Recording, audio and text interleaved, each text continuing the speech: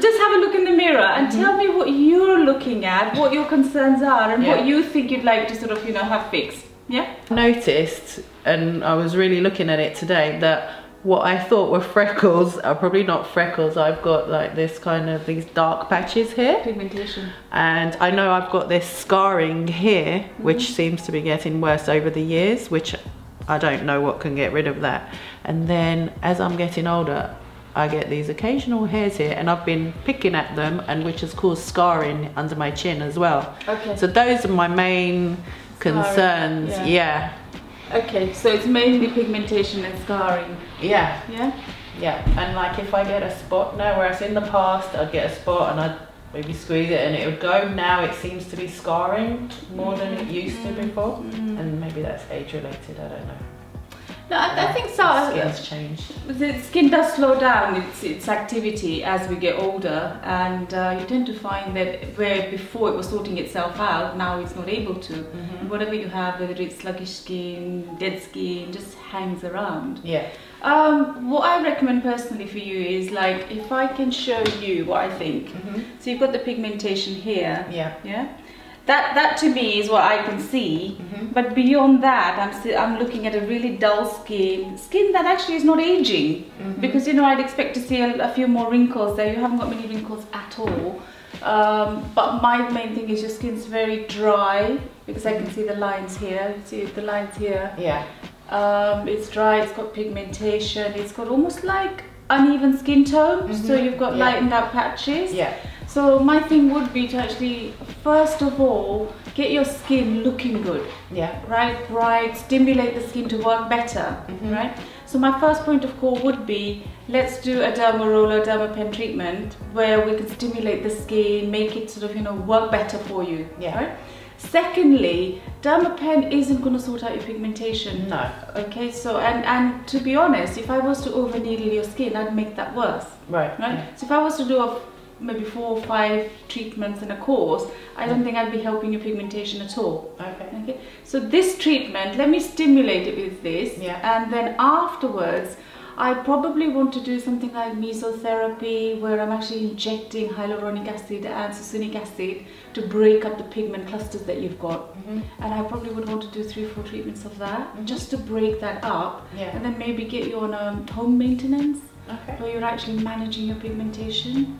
Yeah. Um, it's okay for me to tell you put a sunblock, Mhm. but there's more than that you need to do. Yeah? Yeah. Are you okay with that? Yeah. Yeah? Yeah. Okay, so if I start you, we do like a regime. Mhm. The regime being this is the first treatment you have, and then get you back probably after four weeks once the skin's settled, Mhm. and then we can just really work this stubborn pigmentation. Yeah. Yeah. Okay. What I'll be doing for you is this today. Um, I'm going to clean your skin. Yeah. Put Emla on for maybe 10 minutes and then do the needling. Now the needling is a little bit sort of, you know, I, I wouldn't say it's not painful, but I Mhm. wouldn't say it's so painful you're going to run off. No. Yeah? I've got So- a high pain threshold. You have, okay. So expect some level of pain Mhm. and then the skin's going to be quite red afterwards. Okay. Okay, so That's alright.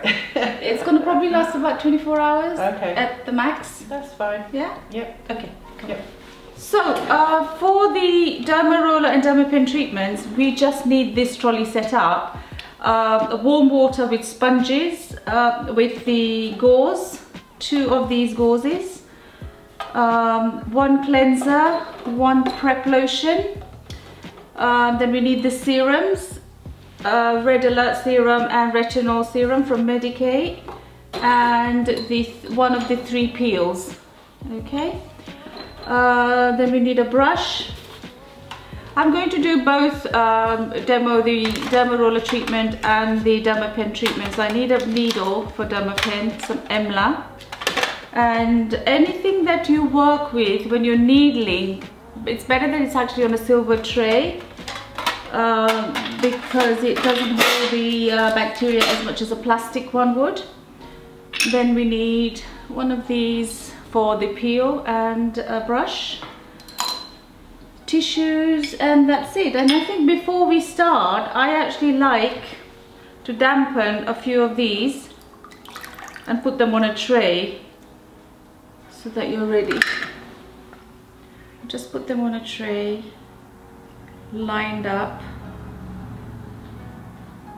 maybe in case you need to clean um, and also it's good for the toner. A dustbin and a sharps bin and a LED lamp. So now the reason that I've set everything up and it's actually just on this trolley is because I don't want to have to be getting up when my client is on the bed, going in and out looking for um, any of this actually. So the treatment, if you want it to be professional, no phone in the room and everything that you need on a trolley by your side, nothing where you're going to have to get up. I've even got two bowls of water um, and really the client's treatment shouldn't be disturbed and you shouldn't really keep going in and out of treatment at all. To do with the needle, uh, the first thing that um, you need to do is get your apron on. This protects you and the client and it should all be disposable. Everything that we use in the needling treatment is disposable. Um, then I've got the gloves and before you put the gloves on there's a gel we use.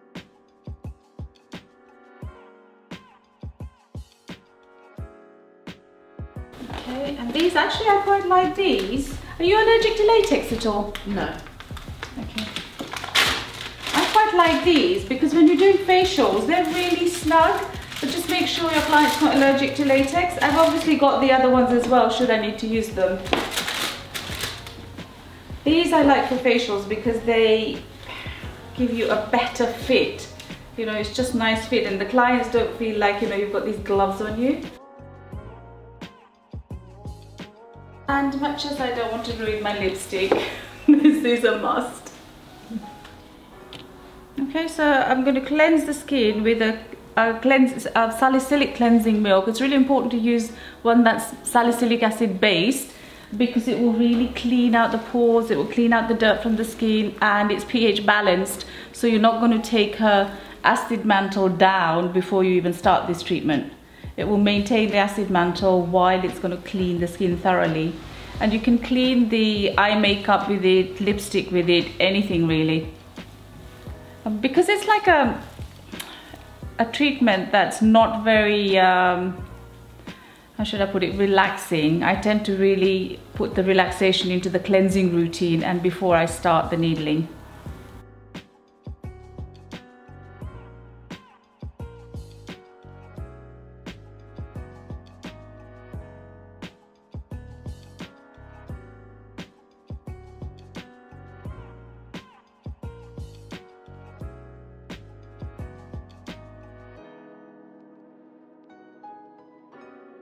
Okay, take about two or three pumps of the cleanser. Put it over your hands, complete hands. Apply the cleanser, first of all, to the jaw area.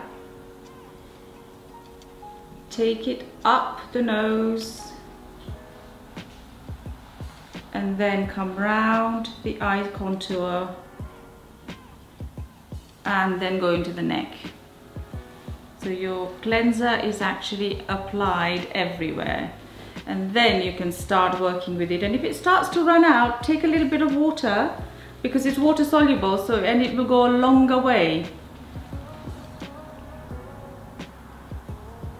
Start off with the chin, circular movements to the jaw and cleansing should be done mainly in a circular movement because you're not doing a massage, you're cleansing. So you want to get the dirt out of the pores. And use your fingers when you're going into smaller areas because you can't go in with your um, entire hand.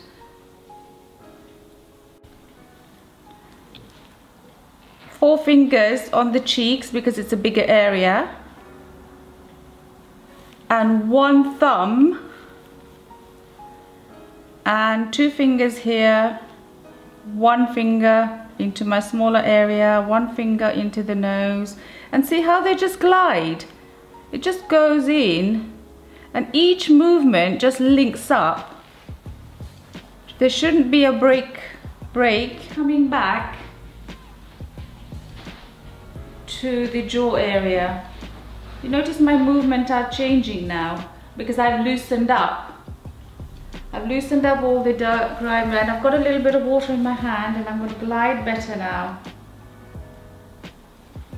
This is my second phase of the cleanse where I'm actually giving my whole hand. Circular movements, circular movements, three and then stop and come off.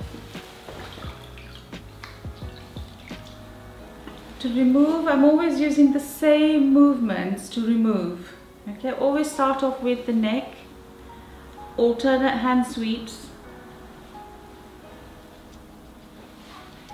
Take one hand following the other on one jaw. This hand stays here, this hand comes to the other side. One hand following the other and it's one movement. Eye contour. Turn them over.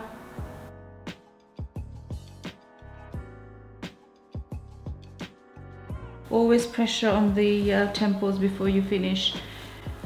Now take a little bit of cleanser and mix the cleanser into two pads. One pad you're going to use over the eyes and the other pad you're going to use on the lips. So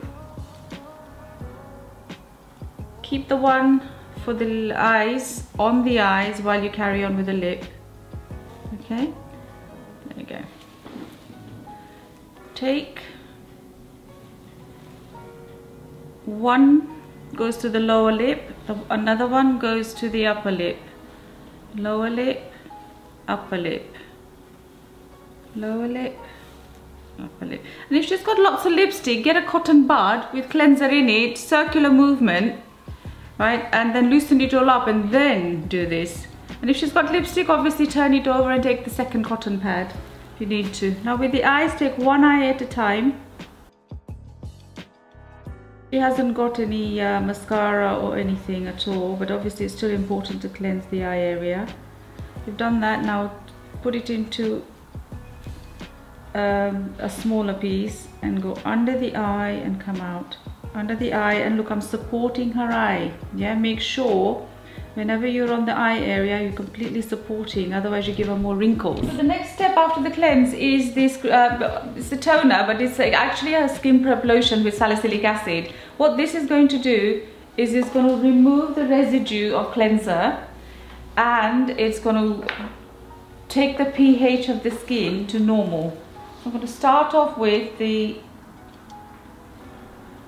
chin area first, chin, jaw, and you notice I'm actually just working together. Both my hands are working. Contour the eye area.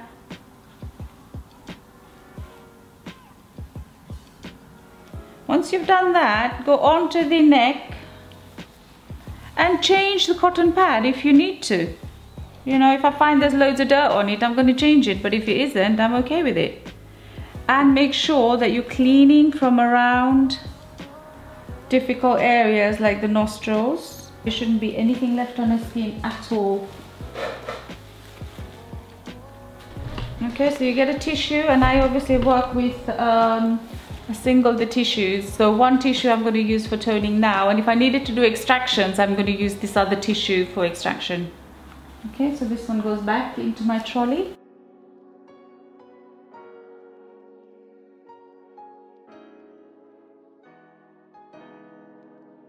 Now that I've done the cleansing, I can now see her skin properly. Okay, so I'm going to just take a before and after picture to show her and, and it's good for me as well. You actually clean your hands with an antiseptic before you put your gloves on.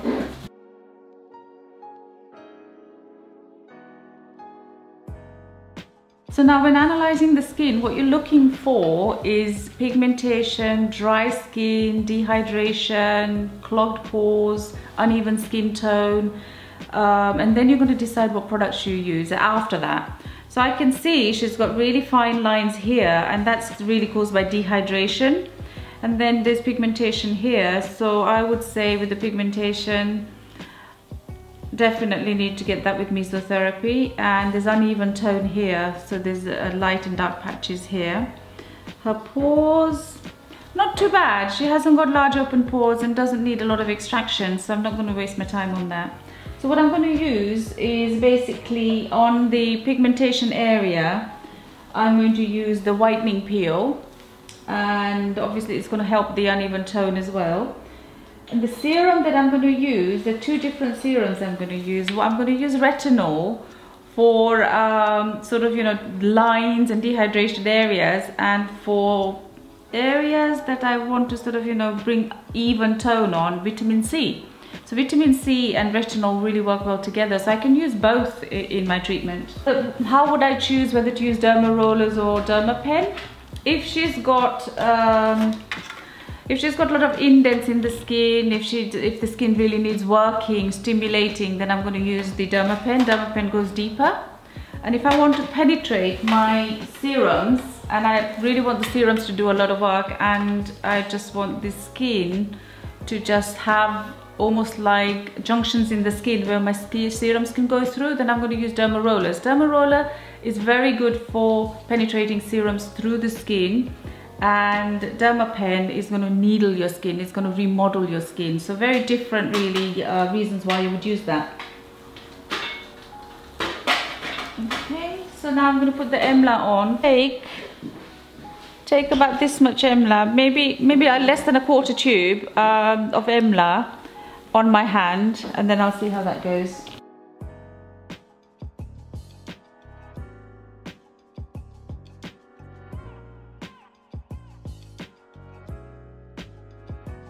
I start from the chin and I work my way up and I'm actually going out. If you can see I'm going outwards. I'm not going down and I'm following a routine which is every single product I apply this is my routine.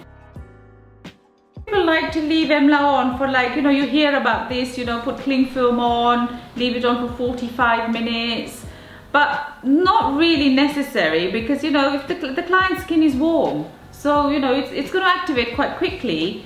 So I think there's no need to, you know, put a lot of cling film and stuff. And I've noticed that if you leave the EMLA for as long as 45 minutes, which is what they're recommending, it's almost gone. It's going to take you at least an hour to go through the whole process. So you need the EMLA to be sort of working for you. Um, it depends. There's a trick to EMLA. If the skin is really warm, you're going to find it activates quickly and areas that are warm activate really quickly. So for example, if you do EMLA on lips, because it's like a really warm area, it only takes seven minutes for the EMLA to take on the lips. So never think that being 20 minutes, 25 minutes is gone. So you need to really be quick with it. Whereas this, this way, 10 minutes is more than fine. And another trick that really helps the EMLA is if you massage it in once you've applied it, that tends to really help get it into the um, into the skin.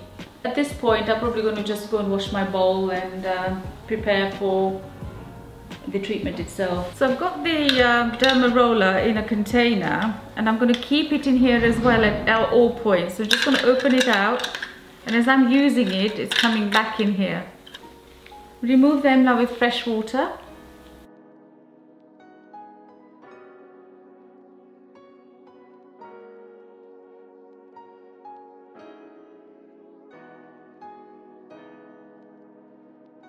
You apply the serum now I'm going to use the retinol serum to begin with. Uh, before you apply it, make sure the eyes have a cotton pad in case she opens her eyes and you're about to put this in. Okay, so I'm only going to apply serum to this area.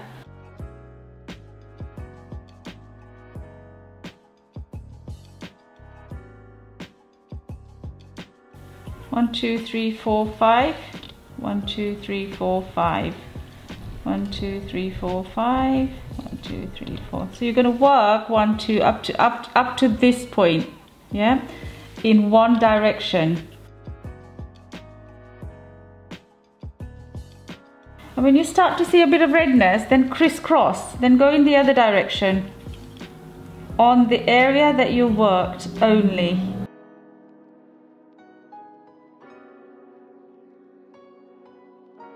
Tweet turn there for me so get the clients to sort of, you know, put the tongue there when you're working around the mouth area.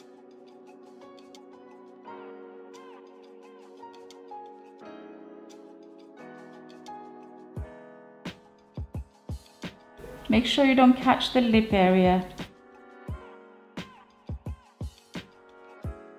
And look, stretch with the two fingers like that.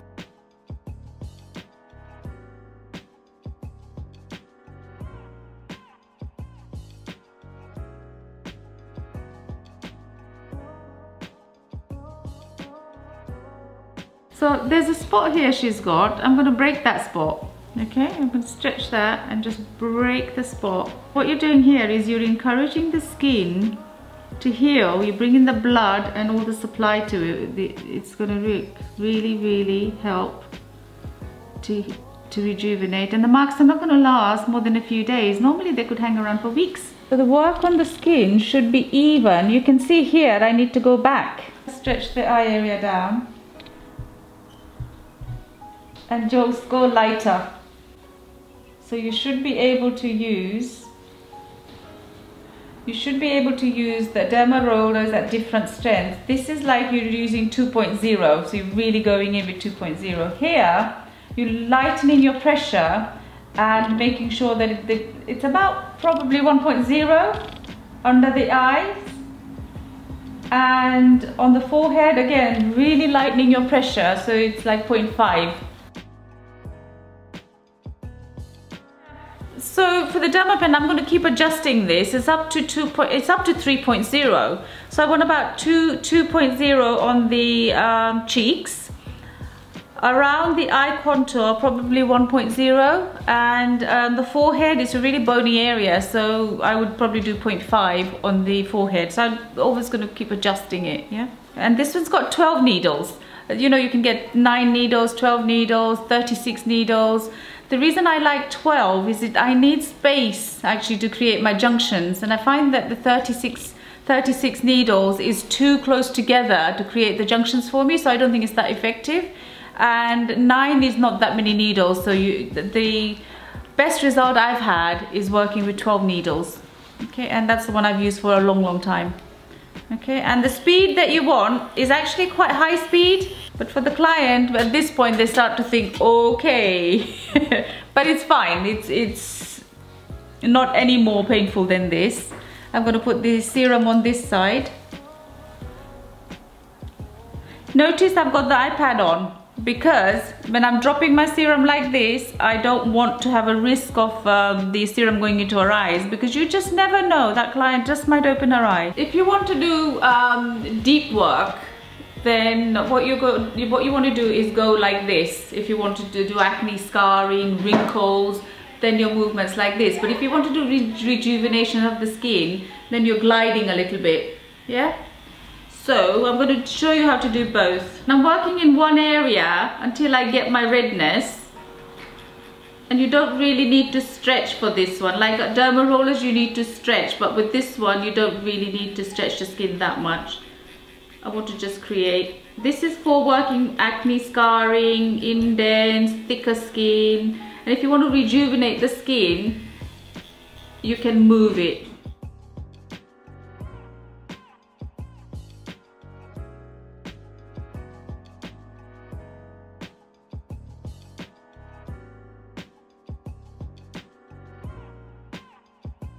When you're gliding Dermapen in the skin, it should be small movements never large movements. If you've got any problem areas where you want to work deeper, then do these movements. For the eye area, don't drag the derma roller, um, the um, Dermapen. What you want to do is make sure that you reduce your needle to 0.5 0.5 and just do it lightly. It's actually quite good for wrinkles around the eye area.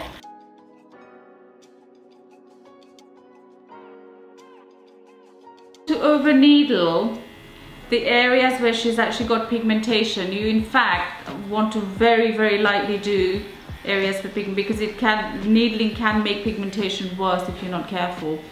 So I, I just want to cover the area and put my serums into it, but I certainly don't want to um, I don't want to put um, almost like oh, around here and here she's got a lot of pigmentation. Just lightly um, enough to create junctions where you're transporting the serum into the um, melanin cluster which is actually causing the mark. And the serum that I would use on uh, the pigmentation marks would be glucothioneine and vitamin C.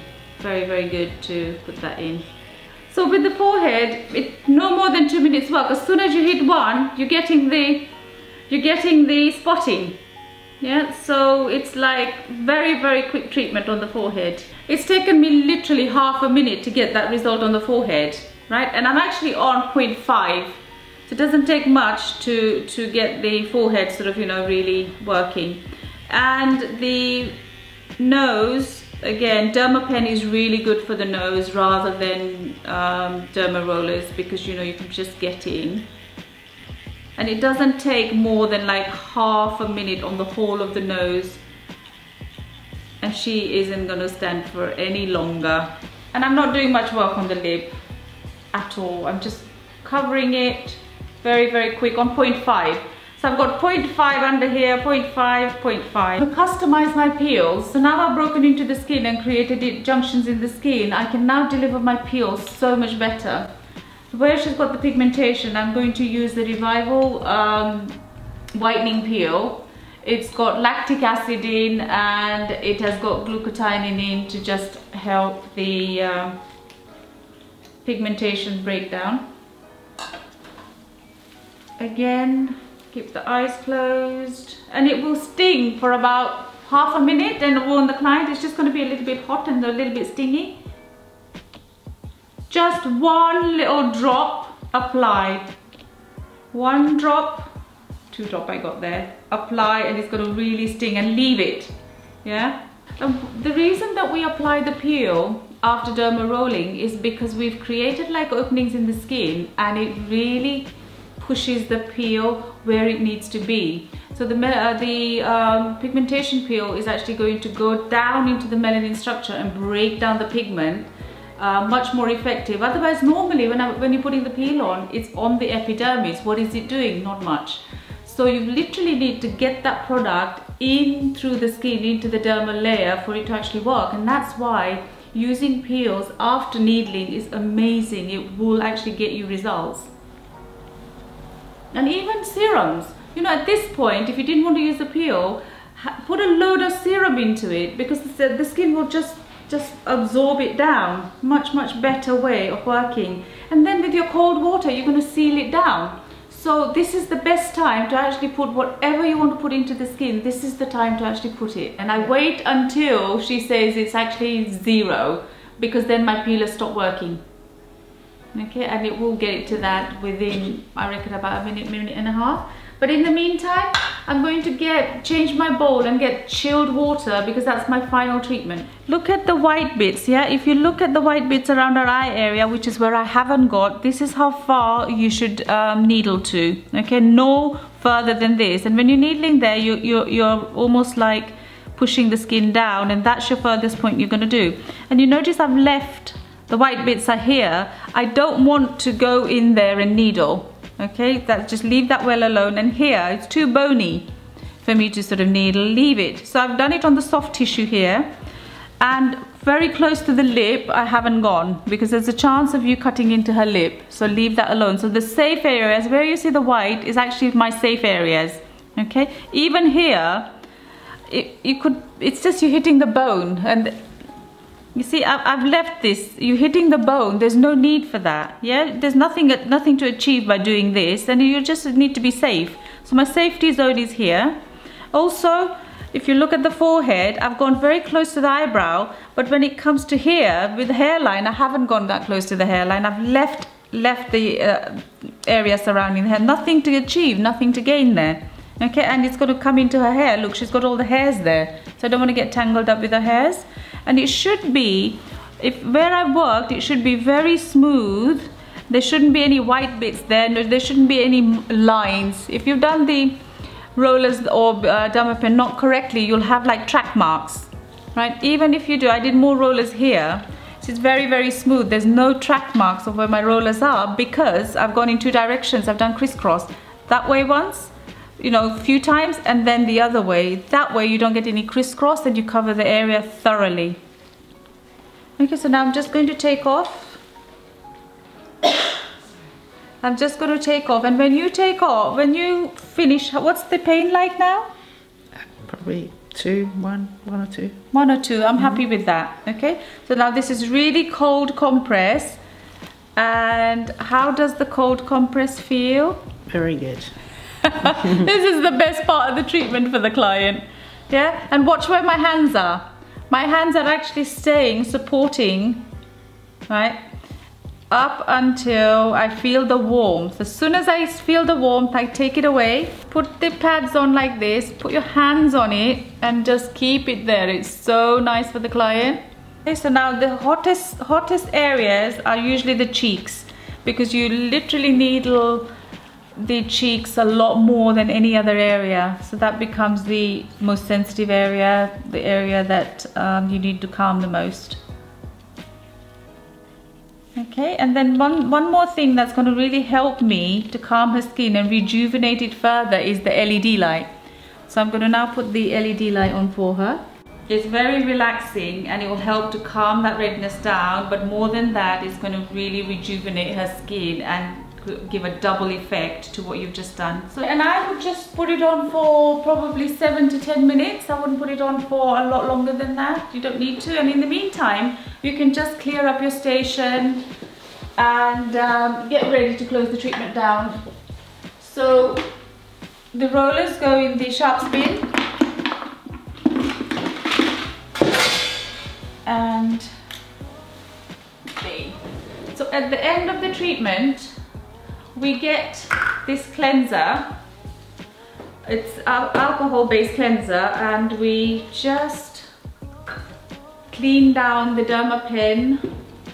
This is not just makeup, it's actually an aftercare cream that we use for after needling procedures, Botox fillers, mesotherapy, Dermaroller, Dermapen. And what it's going to do is it's going to heal the skin. More than that, it's going to cover up and it has an SPF 50. So she's completely protected after she leaves you. Um, don't, do, don't do this with cotton bud because it soaks it all up. So take a little bit. I think I have to take maybe a couple um, of different colors.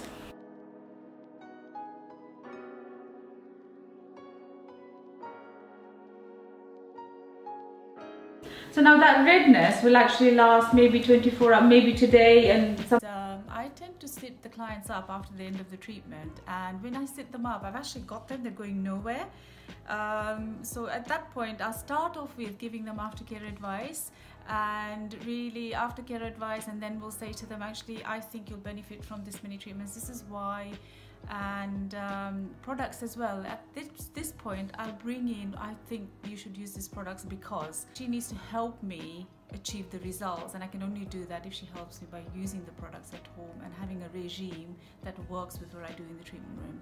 Sometimes it's gone in a couple of hours, sometimes it's there for the rest of the day. Mm -hmm. And in worst cases, it can go on to next day. Okay. But nothing for you to worry about at all. No. If it feels hot, put cold compress on it. Yeah. But otherwise... That was really soothing when you put the cold compress Was it? That was really, really nice. Yeah. Perfect, okay.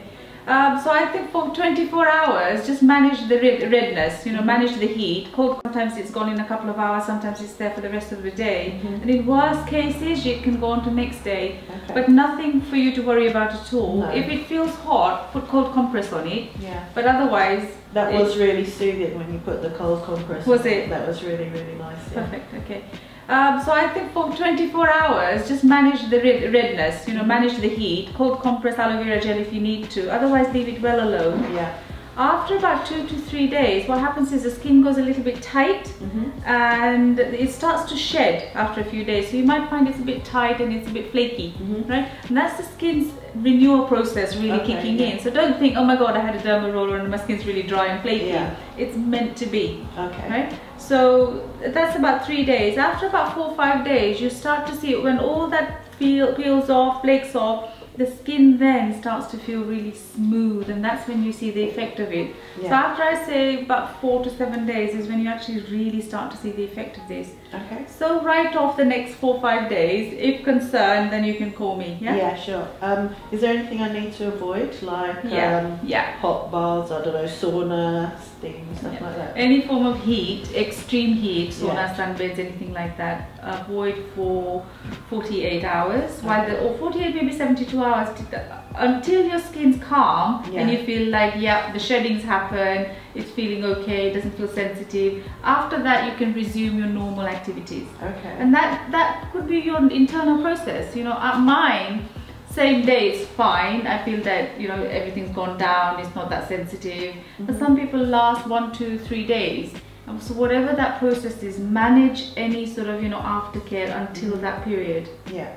And afterwards, I think what you should do is use, because we've really made junctions in the skin, what really works is serums Okay. right? If you continue to pump your skin with serums after this has been done, you'll find that the serums are much more effective. Right. And the ones I recommend for your skin is vitamin C, Mhm. hyaluronic acid, and a serum called glutathione, right? And that's really good to break down this this Yeah. pigment. Can I get that from you? Yeah.